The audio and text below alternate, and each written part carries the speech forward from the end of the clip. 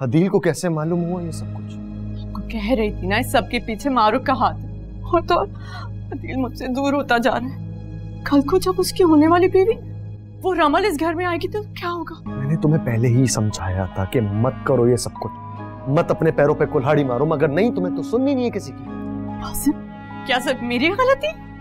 हालाँकि कोई गलती नहीं। आज जो कुछ हो रहा है खाला की वजह से हो रहा है। ना वो कोमल को मारने का प्लान बनाती ना ही आज हमें इन हालात से गुजरना पड़ता।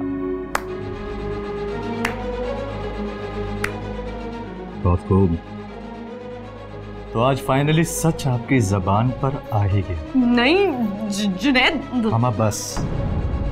प्लीज़ बहुत अफसोस हुआ। जुनेद? काश आप पहले ही समझ जाते।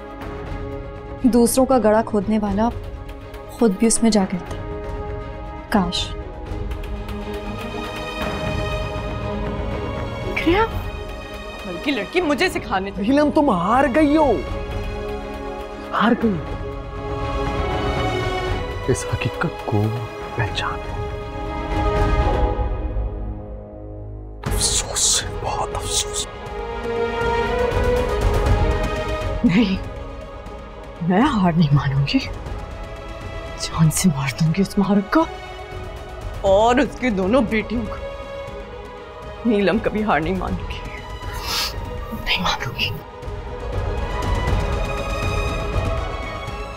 मैं तुम्हें नहीं छोड़ूँगी।